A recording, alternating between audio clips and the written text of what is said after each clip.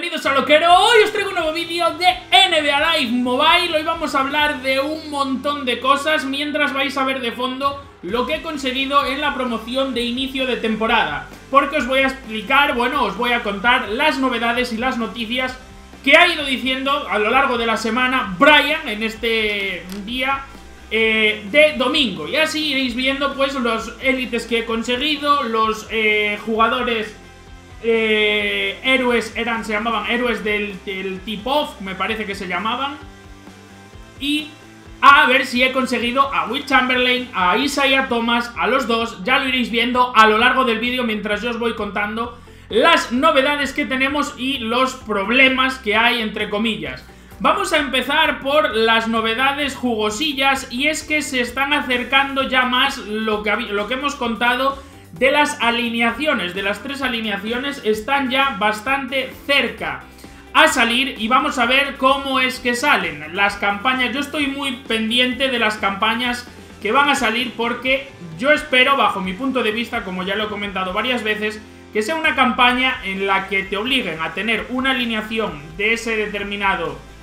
Em, de ese determinado icono, o sea, vamos a llamarle icono, pero bueno, defensivo o tirador o equilibrado e ir subiendo a lo largo del año la alineación de nivel para conseguir una carta bastante tocha. Yo preferiría que fuera una carta bastante tocha, de 90, 95 de media, y así conseguirla pues dentro de unos meses y estar ahí jugando y tener opción a jugar y conseguir muchas cosas en esa campaña. Más o menos como las de FIFA que eran de 90 de media, pero mm, cartas que sean de una media y que se puedan subir de nivel, porque si no, o sea, vamos a conseguir una carta de 88 que cuando la consigamos vamos a tener eh, cartas de 95. Como pasa con James Harden, que es una carta de 83 de media, que son cosas que no se entienden. O sea, porque hay una carta de James Harden de 83 de media que han tardado tres meses casi en sacarla porque está, el juego empezó en septiembre, estamos ya casi en noviembre, dos meses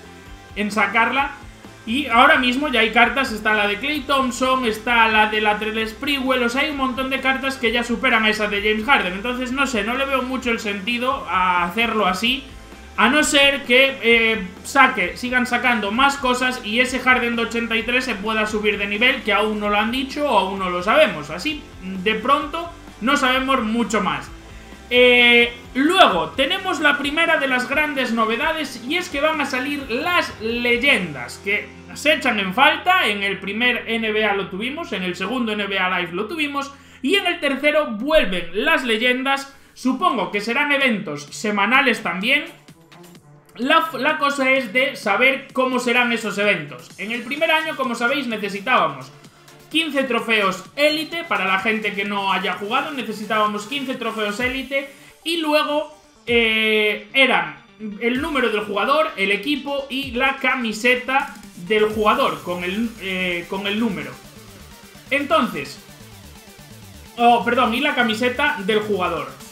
Eh, eso en el primer año. Era bastante chunguillo conseguir las camisetas y teníamos también un trofeo eh, platino, si no, me, si no me equivoco, algo así era, que te daban uno cada vez que hacías, bueno, varias cosas, etcétera, etcétera. Entonces era bastante difícil conseguir lo que era la camiseta, el número y el equipo porque costaba mucho. Entonces, bueno, pues ahí estaba la chicha.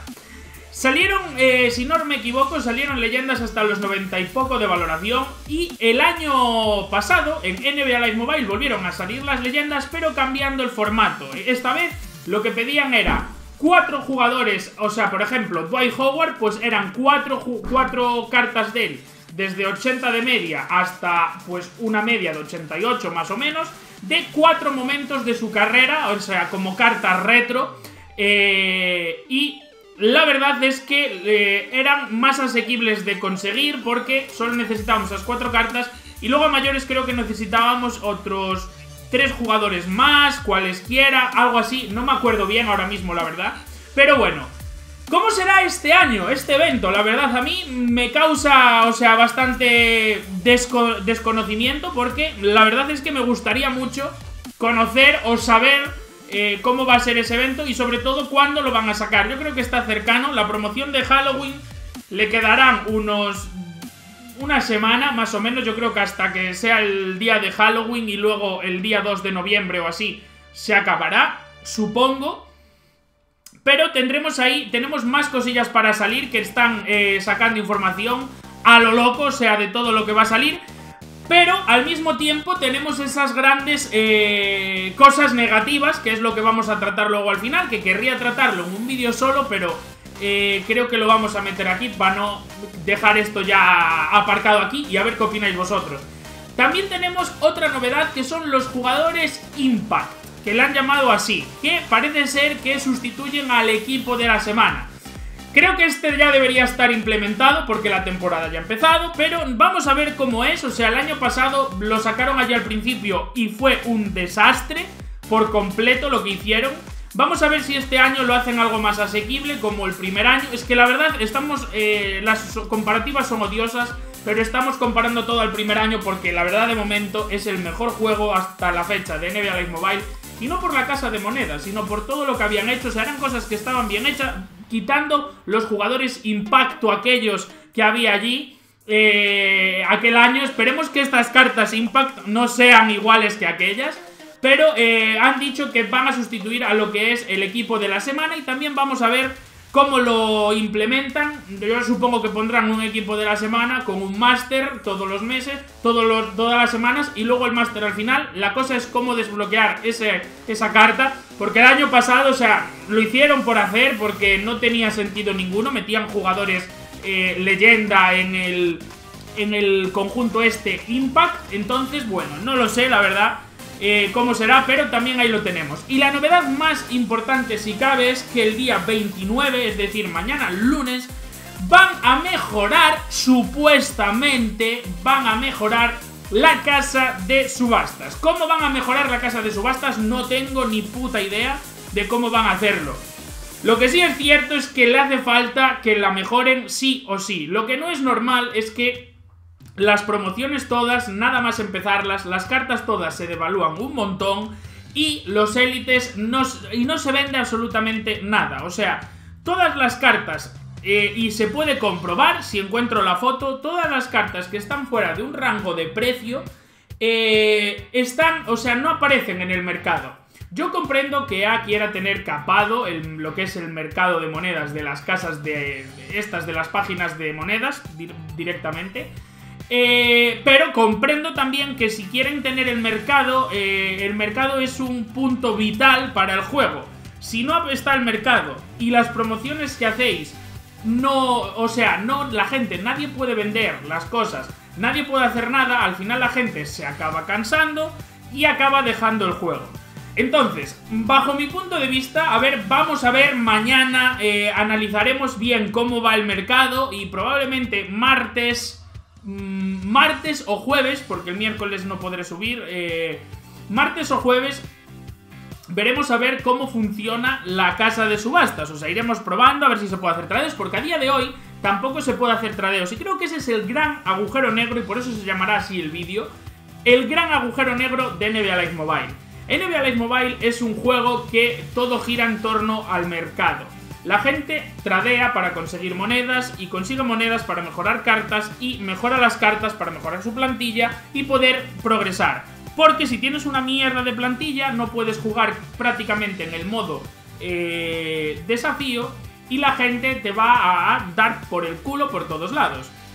Entonces, eh, bajo mi punto de vista, y no sé por qué, la verdad, o sea, si yo consigo una carta de 82 de media y quiero venderla, o sea, ¿por qué en el mercado no se vende? O sea, me parece muy raro que en todas las casas... O sea, por ejemplo, yo tengo una carta de 82 de media, la que sea, la que estáis viendo por ahí abajo, un Wiggins de 82 de media. Si yo quiero vender esa carta en 200.000 monedas, pero en realidad su precio de mercado es 350.000, o sea, ahí va a haber una persona que va a conseguir esa carta por 200.000 y la va a vender por 275 y le gana pasta. Y hay otra persona que la va a vender por 325 y le saca pasta igual. O sea, no sé por qué no dejan a la gente, o sea, y me pongo yo mi ejemplo. Cuando vendo las cartas, o sea, cuando haces snipe, que compras las cartas a 4.500, en vez de venderlas a 10.000 o 12.000, que es su precio real, yo las quiero vender más rápido, por lo que sea, porque quiero conseguir cualquier cosa, Entonces las prefiero vender por 9000. Pues, ¿qué problema hay en que yo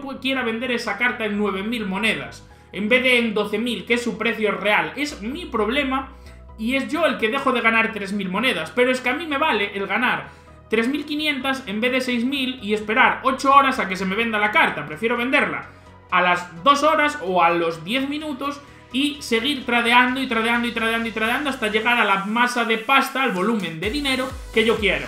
El problema que pasa ahora es que eh, la promoción de Halloween, sí, está bien, se pueden conseguir cosas. No digo que no se pueda conseguir a Leonard ni a Latrell Sprewell. Probablemente yo consiga, si no a los dos, a uno de los dos. A Anthony Davis es más complicado. Eh, pero eh, si yo, por ejemplo, las cartas de Halloween estuvieran a 8000, yo puedo tratar con ellas. Yo las vendo a 5000 y las compro a la. O sea, perdón, las vendo a 8000 y las compro por 5000, que las podría ver haciendo snipe. Y era lo que estaba haciendo en la promoción de Thomas, que veis por ahí abajo, hasta que empezaron a devaluar las cartas muchísimo. Y al final fue imposible hacer nada.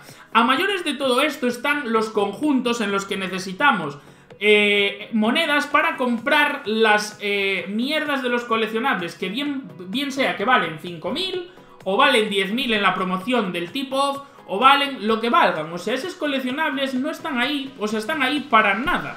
O sea, no valen para nada. Pon una, haz una promoción en la que necesites, o sea, las, si la gente tiene pocas monedas y le estás metiendo conjuntos en los que eh, necesitan monedas para conseguir las cartas, o sea, la gente va a quedar sin pasta.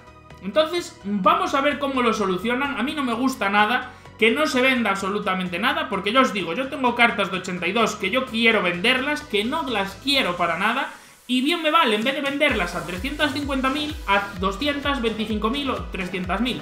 Porque eso sí que me vale para el objetivo que tengo. Y a día de hoy, si me dejaran vender todas las cartas que tengo, probablemente llegaría muy fácil a Anthony Davis. Pero si no quieres que la gente llegue fácil a Anthony Davis, pon una promoción en la que solo jugando consigas las cosas y cierra lo que es el mercado. Di, mira, vamos a cerrar el mercado, pero a partir de ahora vamos a conseguir las cosas jugando y como en FIFA, o sea, en FIFA apenas existía el mercado. Tú solo ibas a comprar cosas cuando pues necesitabas un jugador o alguna movida. Pero la gente vende las cosas. O sea, tú pones cartas baratas y la gente las vende. Y no tienen el mercado. Y, o sea, y hay mercado de monedas, pero es menos porque tienen otro sistema, o no sé cómo coño lo tienen. Pero aquí en NBA no sé qué coño hacen, que no se vende absolutamente nada. Y esperemos que a partir de mañana, 29 de octubre, y vamos a analizarlo, eso cambie. Espero que os haya gustado el vídeo, también las reacciones ahí de lo que voy consiguiendo, chavales. No os olvidéis suscribir al canal y nos vemos con más novedades, con un pack opening que hay pendiente, por cierto, de cosillas. Y pues mañana, pasado, el martes, no lo sé. Nos vemos. Adiós.